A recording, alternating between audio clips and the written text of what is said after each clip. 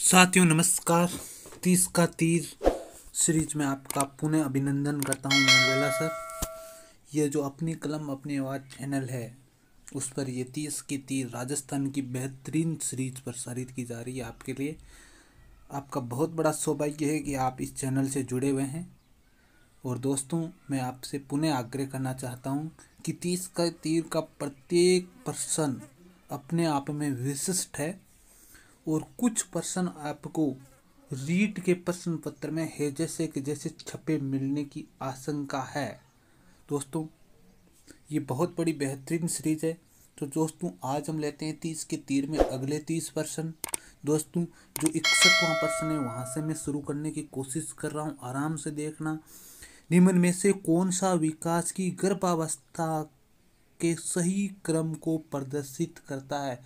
दोस्तों, विकास प्रसव पूर्वावस्था से शुरू हो जाता है, जिसको बोलते हैं गर्भावस्था।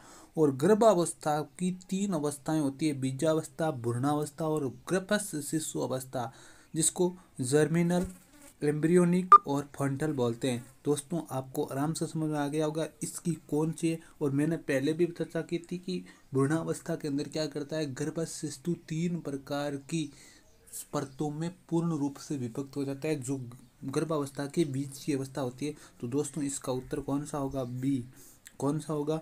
बी दोस्तों, बहुत इंपॉर्टेंट दोस्तों आपको ध्यान में रखना है। चलो, हम अगले प्रश्न की ओर चलते हैं दोस्तों।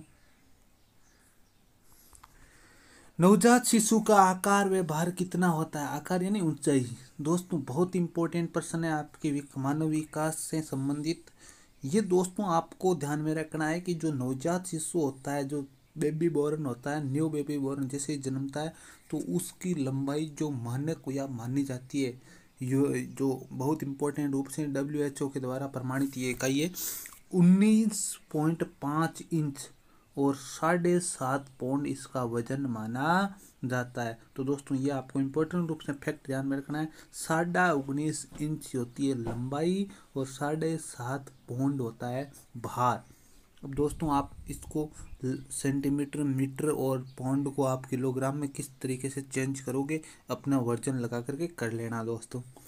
तिरसठवां प्रश्न, पूर्व बाल्यावस्था की अवधि कितनी होती है? तो दोस्तों, बहुत इंपॉर्टेंट प्रश्न है। पूर्व बाल्यावस्था की यदि इस ऑप्शन के हिसाब से देखें तो इस ऑप्शन में आपको भी नज़र आ गया होगा कि चार से छः वर्ष वाला ऑप्शन क्या होगा? सही होगा। आपको ऑप्शंस के हिसाब से वहाँ पर सही करना है। किसी भी मनोविज्ञान के हिसाब, मनोवैज्ञानिक के हिसाब से नहीं करना है तो दोस्तों, इसका ऑप्शन कौन सा होगा? सी चलो, हम अगला प्रश्न वेरी इंपॉर्टेंट प्रश्न, दोस्तों। ऐसे प्रश्न अक्सर पूछे जाते हैं, चौसठवां प्रश्न वेरी इंपॉर्टेंट प्रश्न। दोस्तों, आपको बात की जाए तो डीएनए क्या होता है? आनुवंशिक तत्व होता है। डीएनए और आरएनए दो तत्व होते हैं। एक्स वाई गुणसूत्र कौन से होते हैं? लैंगिक गुणसूत्र होते हैं, लैंगिक सॉरी लैंगिक गुणसूत्र होते हैं, क्योंकि और जनन कोशिका में कितने गुणसूत्र पाए जाते हैं? तेईस गुणसूत्र पाए जाते हैं, और निर्धारक कौन होते हैं? जीन होते हैं। तो आनुवंशिकता के निर्धारक कौन होते हैं दोस्तों? ध्यान रखना, जीन होते हैं। तो इसके हिसाब से जो उत्तर सही होगा तो पहले का चार, एक का चार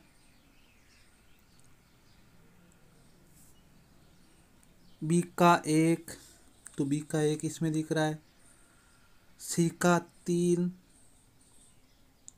सी का तीन नहीं दिख रहा है पहले में तीन है, और सी का दो दो होना चाहिए। सी कौन सा है? जनन कोशिका।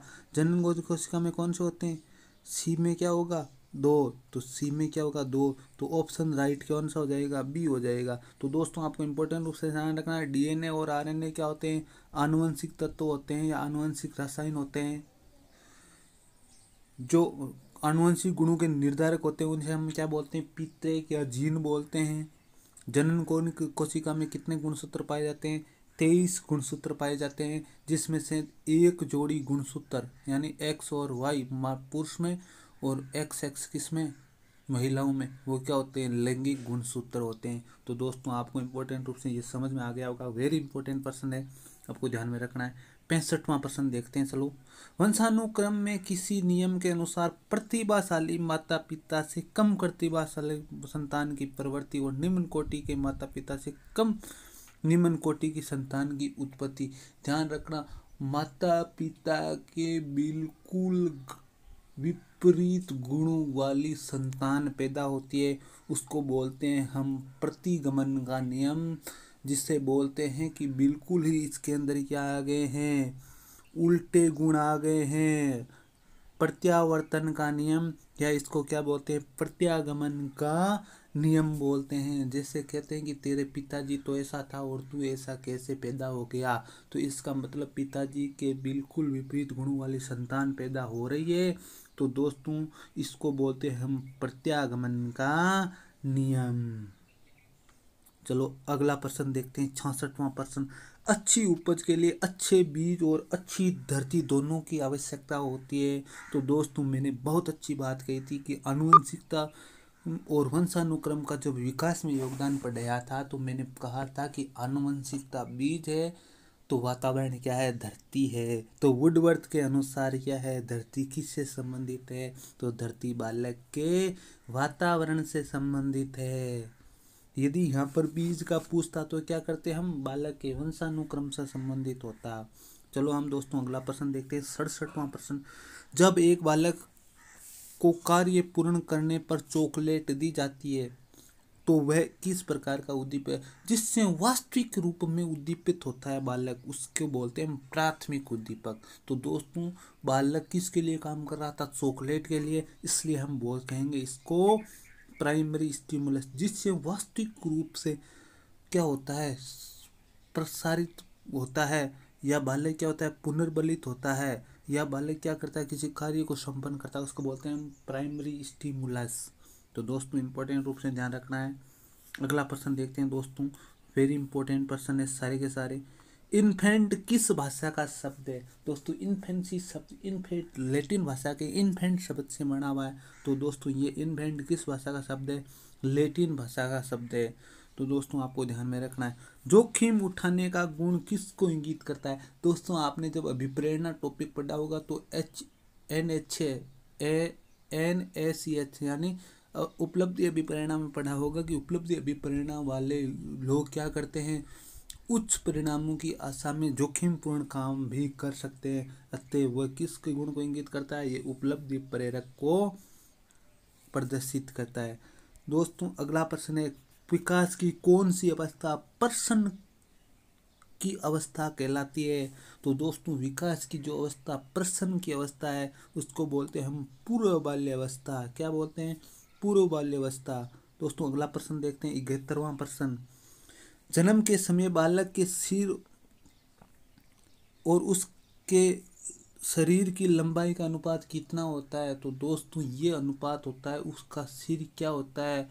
बालक की लंबाई का पच्चीस फ़ीसदी होता है। ध्यान रखना दोस्तों, अतः इसका अनुपात जो आएगा, वो आएगा एक अनुपात चार। यदि दोस्तों आपसे उल्टा भी पूछा जा सकता है, शरीर की लंबाई और सिर तो शरीर की लंबाई और सिर होती तो चार अनुपात एक होता तो दोस्तों ध्यान रखना इम्पोर्टेंट रूप से आप। बालक के शारीरिक वृद्धि और विकास को प्रभावित करते हैं तो दो कारक होते हैं, महत्वपूर्ण रूप से वंशानुक्रम और वातावरण दोनों प्रभावित करते हैं। बहुत सी चर्चाएँ हो चुकी है इस पर, दोस्तों। एक बालक सब कार्य करना चाहता है, परंतु वह ये नहीं कर पाता, काम करने में चीज़ों को गिरा देता है। ये कोस किस कौशल का विकास नहीं हुआ है। तो दोस्तों, उसका क्या है?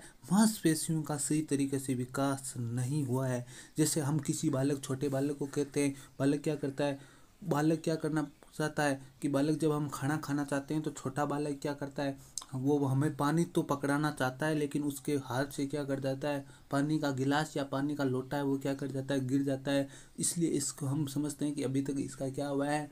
मांसपेशियों का विकास नहीं हुआ और जो मांसपेशियों से जो संबंधित विकास होता है, उसको हम बोलते हैं गामक विकास, या जिसको बोलते हैं हम लोकोमोटर स्किल डेवलपमेंट इंग्लिश में बोले तो लोकोमोटर स्किल डेवलपमेंट या इसका चालन विकास अभी सही तरीके से नहीं हुआ तो गामक कौशल या चालन कौशल बोलते हैं। तो दोस्तों, उत्तर कौन सा होगा?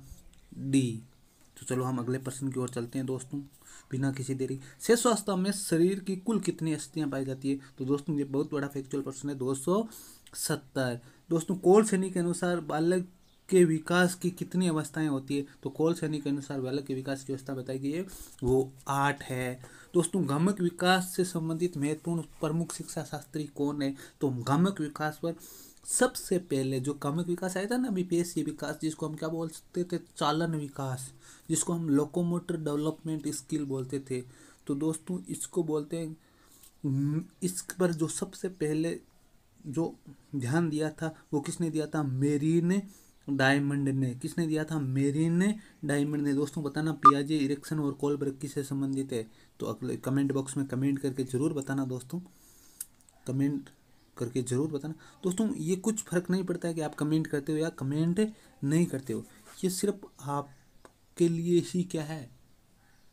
नुकसानदायक है।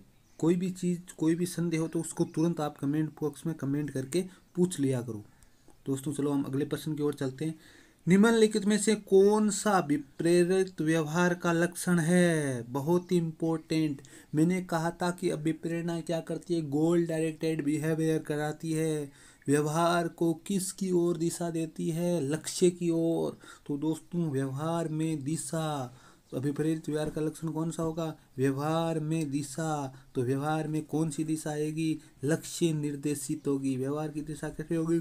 लक्ष्य निर्देशित होगी। तो दोस्तों, अभिप्रेरित व्यवहार का लक्षण कौन सा होता है? व्यवहार की दिशा। आदत निर्माण हेतु वेले, वेलेंटीन ने कितने नियमों का उल्लेख किया? दोस्तों, ये सेकंड ग्रेड के सिलेबस में आदतों का पार्ट होता है और ये सेकंड ग्रेड के सिलेबस में आपके रीट के सिलेबस में नहीं है। दोस्तों, अगले बात के, अगले प्रश्न की ओर चलते हैं। दोस्तों,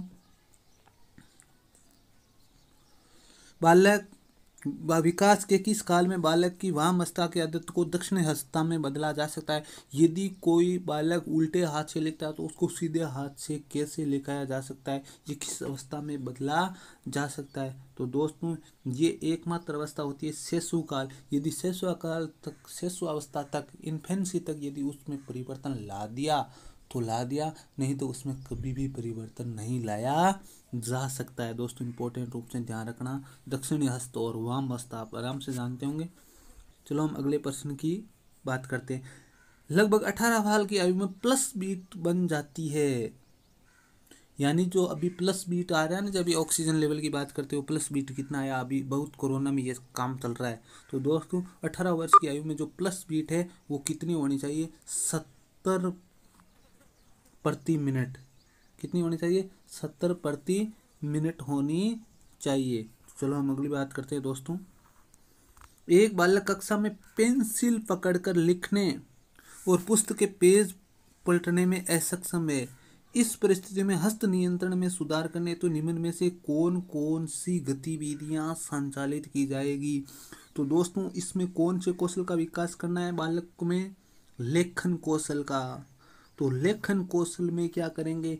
या तो उसको हम क्या करेंगे? पेपर पर क्या कराएँगे? एक्टिविटी कराएँगे? कागज़ पर क्या करवाएँगे? पेंसिल पकड़ करके उसको क्या करेंगे? चरमराना सरमराना करवाएँगे। वो दौड़ लगाने से कोई फ़ायदा नहीं और तैराकी करने से भी कोई फ़ायदा नहीं है। इस पंच को दबाना। यदि जैसे क्या हो गया? आंगलियों में कभी कभी क्या हो जाता है? क्या हो जाता है? कभी कभी क्या आ जाती है, जकड़न आ जाती है, जिससे वो सही तरीके से लिख नहीं पाता है। इसलिए उसको क्या देंगे? कोई भी दबने वाली वस्तु देंगे और इस पर बार बार उसकी क्या कराएँगे? प्रैक्टिस करवाएँगे। तो दोस्तों, इसका उत्तर होगा एक और चार सी। कौन सा होगा? सी। चलो अगला प्रश्न देखते हैं दोस्तों। बयासीवा प्रश्न। दोस्तों वेरी इंपॉर्टेंट रूप से ध्यान रखना। सारणी ए को सारणी बी से सुमेलित कीजिए। जो सूची ए है उसमें खेल के नाम दिए गए और उनके प्रकार दिए गए। दोस्तों वेरी इंपॉर्टेंट रूप में ध्यान रखना, खेल प्रारंभिक विकास में बहुत महत्वपूर्ण होता है और आपके ये प्रश्न बहुत बार आते हैं कि खेल का कौन सा प्रकार है। तो दोस्तों, आपको पता हो तो कुश्ती कैसा खोल, खेल होता है? युद्धात्मक खेल होता है। शतरंज कैसा होता है? दोस्तों, शतरंज में हम क्या लगाते हैं? दिमाग लगाते हैं तो विचारात्मक खेल होता है। दोस्तों, नाटक कैसा होता है? नाटक में क्या करते हैं? हम भाव विवरणियाँ करते हैं। दोस्तों, कभी रावण का चेहरा बदलते हैं तो कभी राम के रूप में आ जाते हैं। तो इसको बोलते हैं हम स्वयंगात्मक खेल बोलते हैं। कौन सा बोलते हैं? स्वयंगात्मक खेल खेलते हैं। और तैराकी क्या होता है? पानी का खेल होता है। तो दोस्तों, आप इसका मिलान करके इसका उत्तर निकाल लो और कमेंट बॉक्स में कमेंट करो कि गुरुजी, इस प्रश्न का उत्तर ये है। दोस्तों, इम्पोर्टेंट रूप से ध्यान रखना। आपको सब बता दिया गया है। निम्नलिखित में से मूल्यांकन का कौन सा प्रमुख चरण नहीं है? तो दोस्तों, मूल्यांकन में उद्देश्यों का निर्धारण भी शामिल होता है, अधिगम अनुभव भी शामिल होते हैं और व्यवहार परिवर्तन भी शामिल होते हैं। कौन से शामिल नहीं होते हैं? आपने मूल्यांकन का तरीक पढ़ा होगा। तो दोस्तों, रुचि का स्वरूप, ये 2015 में रीट में आया था। निम्न में से कौन सा एक मूल्यांकन का मूल्यांकन का आधार नहीं है। तो दोस्तों, उद्देश्यों का निर्धारण व्यवहार परिवर्तन या अधिगम अनुभव क्या होते हैं? मूल्यांकन के चरण होते हैं स्टेप्स होते हैं और रुचि का स्वरूप क्या होता है? मूल्यांकन का चरण नहीं होता है। दोस्तों, छात्रों में रटने की प्रवृत्ति को रोकने के लिए कैसे प्रश्न पूछे जाने चाहिए? तो छात्रों में रटने की प्रवृत्ति रोकने का एक ही तरीका है, उसके क्या पूछा जाए? ऑब्जेक्टिव प्रश्न पूछे जाए। दोस्तों, अगला प्रश्न देखते हैं। बालक टी सी ए टी में कितने कार्ड होते हैं? तो सी ए टी में कार्ड होते हैं, वो कितने होते हैं? दस होते हैं। दोस्तों इंपॉर्टेंट रूप से ध्यान रखना। छात्रों में व्यक्तिगत रुचियों और अभियोग्यता के विकास से संबंधित मूल्यांकन की सर्वाधिक उपयुक्त विधि। छात्रों में व्यक्तिगत रुचियों और अभियोग्यताओं के विकास मतलब व्यक्तिगत रुचियाँ और अभियोग्यताओं के विकास से संबंधित मूल्यांकन की जो सर्वाधिक उपयुक्त विधि काम में ली जाती है, वो प्रश्नावली विधि काम में ली जाती है। तो उसमें सबसे अच्छी विधि कौन सी होती है? तो होती है प्रक्षेपित तकनीक। लेकिन जो सबसे उपयुक्त विधि है, वो कौन सी होती है? प्रश्नावली तकनीक। तो दोस्तों, चलो हम बात करते हैं अगले प्रश्न की। पूर्व प्राथमिक छात्रों के लिए उपयोगी नीति कौन सी है? तो दोस्तों, आपको पता हो तो व्याख्यान नीति को काम में नहीं ले सकते, उच्च वर्त उच्च कक्षाओं के लिए, समस्या समाधान नीति भी क्या है? उच्च कक्षाओं के लिए वार्तालाप नीति में भी क्या हो सकती है? पूर्व प्राथमिक नहीं आ सकती है तो डेमोस्ट्रेशन स्ट्रेटीज या प्रदर्शन या इसको बोलते हैं, प्रादर्श विधि क्या कर ली जाती है? काम में ली जाती है तो प्रदर्शन विधि इसका क्या होगा? सही उत्तर होगा। चलो, हम चलते हैं अगले प्रश्न की ओर दोस्तों। बिना किसी देरी के अट्ठासीवा प्रश्न होता है, मैं हिंदी फ़िल्म, एक हिंदी फ़िल्म में हूँ ना? दोस्तों, आपने देखी होगी, मैं हूँ ना फ़िल्म। शाहरुख खान ने एक विद्यार्थी की गतिविधियों को अवलोकित करते हुए महाविद्यालय में प्रवेश लिया था। निम्न में से किस प्रकार के अवलोकन प्रयुक्त किया था? तो दोस्तों हम किसी के साथ में रख करके किसी दूसरे से यदि हम सीखते हैं यह अवलोकन के माध्यम से तो उसको बोलते हैं सहभागी अवलोकन। कौन सा बोलते हैं? सहभागी अवलोकन। कौन सा बोलते हैं? सहभागी अवलोकन। दोस्तों, कौन सा अवलोकन होता है? सहभागी अवलोकन। कौन सा होगा? सहभागी अवलोकन। चलो, हम चलते हैं अगले प्रश्न की ओर। कक्षा कक्ष परिस्थितियों में सर्वे दृश्य सहायक सामग्रियों का प्रयोग में लेते समय शिक्षक का निम्न में से कौन से सूत्र का प्रयोग करता है? दोस्तों, आपको पता हो तो यदि सर्वेदर्शी सामग्रियाँ क्या करती है? अमूर्त चीज़ों को मूर्त अवस्था में लाने का एक प्रारूप या एक प्रादर्श या नमूना होती है। दोस्तों, जैसे ग्लोब ग्लोब क्या है? एक पृथ्वी का नमूना है, जिससे बालक क्या समझते हैं? ग्लोब को देख करके पृथ्वी का मूर्त रूप जैसे इस प्रकार सोचते हैं, जैसे पृथ्वी क्या है, मूर्त रूप में उसके सामने तो दोस्तों, उसमें हम कौन से सूत्र का प्रयोग करते हैं? मूर्त से अमूर्त। तो दोस्तों सर्वेदर्शी सामग्रियाँ जितनी भी होती है, वो बालक ये वो हमारे क्या करती है? अमूर्त तथ्यों को कक्षा में मूर्त रूप में लाने की कोशिश करती है। फिर हम उसको मूर्त रूप में बता करके हम उसके अमूर्त तथ्यों का क्या करते हैं? वर्गीकरण करते हैं। तो दोस्तों, उत्तर कौन सा होगा? मूर्त से अमूर्त और दोस्तों जो नब्बेवा पर्सन है सी सी सब जानते हो। कंटिन्यूस एंड कॉम्प्रहेंसिव एवेलेशन जिसको बोलते हैं सतत और व्यापक मूल्यांकन। है तो दोस्तों, आपको वीडियो कैसा लगा? कमेंट बॉक्स में कमेंट ज़रूर करें। कैसे वीडियो डाले जाने चाहिए आगे के लिए?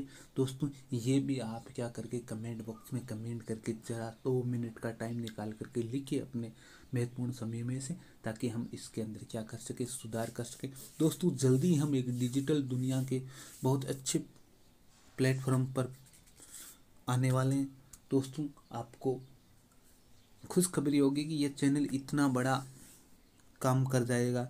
दोस्तों, आपके लिए जल्दी ही हम बहुत बड़ा करने की कोशिश कर रहे हैं। दोस्तों, आप कमेंट बॉक्स में कमेंट करें। और इस पर जो भी विचार हैं आपके, इसको ज़रूर लिखे कि किस तरीके की वीडियो आने थी। एक आपसे मैं बात कर रहा हूँ कि बीच बीच में जो डिस्क्रिप्टिव वीडियो डाले जा रहे थे, वो क्या साइकोलॉजी को डालने हैं आपके लिए या नहीं डालने? कहीं से आपने पढ़ रखा है तो कोई बात नहीं। आप उन पर भरोस, उन पर रहिए। ठीक है, आप पढ़ते रहिए उन चीज़ों, लेकिन आपको यदि आवश्यकता है तो आप ज़रूर कमेंट बॉक्स में कमेंट करके बताइए कि इस टॉपिक्स पर वीडियो आपको डालना चाहिए तो मैं आपको डाल दूँगा। कोई परेशानी नहीं है। तो दोस्तों, आपका स्नेह आपका आशीर्वाद और आपका बहुत प्यार इस चैनल पर बना रहे। और दोस्तों, मैं इसी आशा और इसी विश्वास के साथ मैं क्या करता हूँ, इस वीडियो से विदा लेता हूँ। दोस्तों चलो अगले वीडियो तक आपको पुनः नमस्कार।